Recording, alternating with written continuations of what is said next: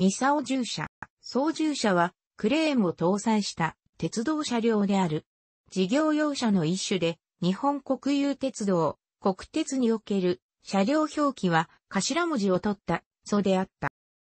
主な用途は3つある。設計は想定する仕事によって若干異なるが、頑丈な台枠を持つ車体にクレーンを備えた回転部分を乗せている基本構造は共通している。車体にはジブを乗せ、クレーンを動かすための装置が備えられている。大型のクレーンでは、オペレータ用の操縦席も備えられている。車両には連結機がついていて、機関車による移動が可能になっているが、多くの車両は制限付きながらも自走可能で、工事現場などで多少の移動ができる。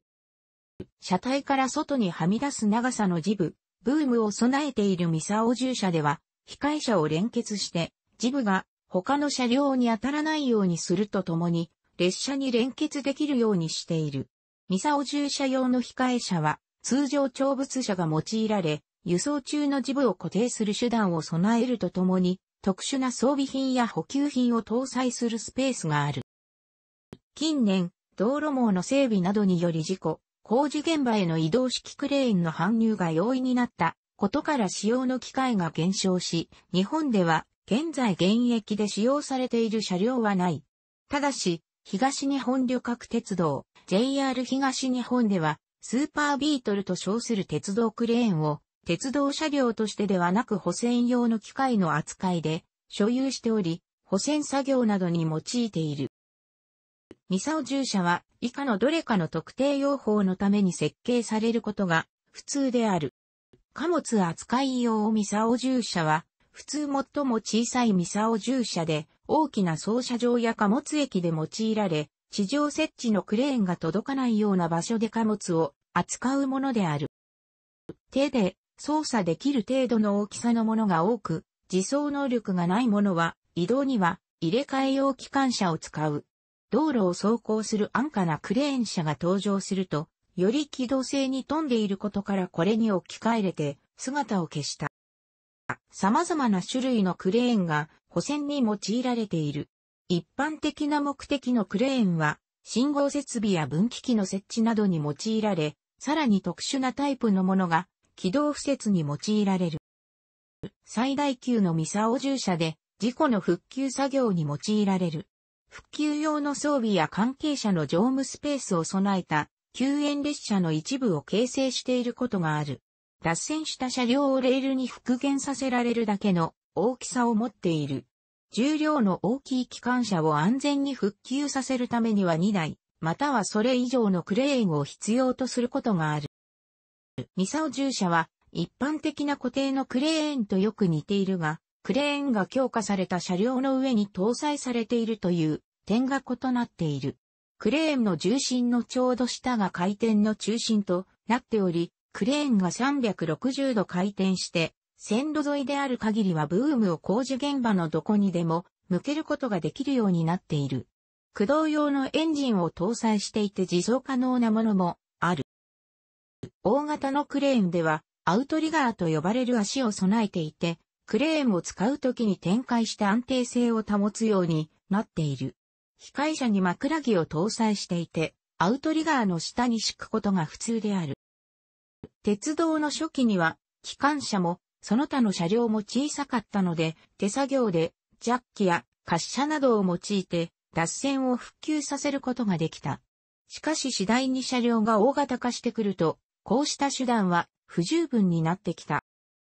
蒸気式のクレーンやケーブルウィンチが登場して、こうした作業に用いられるようになった。1890年頃にこうしたものが登場し、クレーンは次第に大型化して鋼鉄製のプルマンカーなどの登場対応するようになってきた。1910年頃にはクレーンの開発がピークとなった。この時代のミサオ従車は使いやすく強力であるため、1980年代まで現役で残った。素早く点火できる蒸気ボイラーと大型の蒸気式、ウィンチ、ケーブルフックの組み合わせには改良の余地が乏しく、このため長く現役に残った。また、蒸気式の装置は手入れをほとんどせずに数ヶ月、放置しておいても問題がなく、必要とされるときに、いつでも出動できた。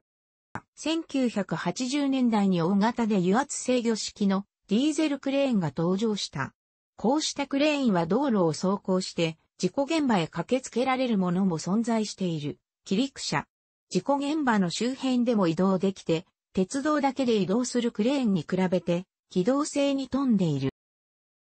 1990年代には新世代のミサオ従車が開発された。従来のディーゼル油圧式のトラッククレーンに台車を備えて線路上を走行できるようにした起陸車と異なり、新世代のミサオ従車は本格的な鉄道車両の台枠を備えており75マイル、毎時、約時速 120km で走行することができる。クレーンはやはりディーゼル油圧式で、伸縮式ブームとカウンターウェイトを備えてり、鉄道の特別な要求に応えて設計されている。こうしたミサオ従車は、荷物を吊り上げた状態のまま走行することができ、しかもカントがついている線路でも自動補正装置により水平を保つことが切る。一本のアウトリガーだけでも作業を行うことができ、また橋や河川の下などでブームを水平にした状態のままで作業をすることができる。能力は200トンメートルほどある。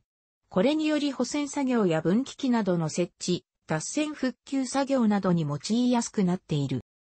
イギリスでは多くの保存鉄道でミサオ従車が保存されているが、単なる展示物にとどまらず、鉄道の運行を補助する目的で完全に動作できるものも存在する。脱線事故の復旧作業では必要になることは少ないが、線路の補修作業や機関車のレストアを外部の業者に依頼する費用をかけずに済むといったメリットがある。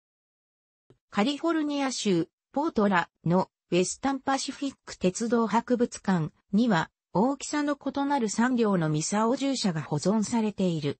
3両ともかつてウェスタンパシフィック鉄道の所有だったのであり、そのうち自走式のボロー製小型ミサオ従車とインダストリアルブラウンホイスト製200トン大型ミサオ従車の2両は現在も動作可能である。楽しくご覧になりましたら購読と良いです。クリックしてください。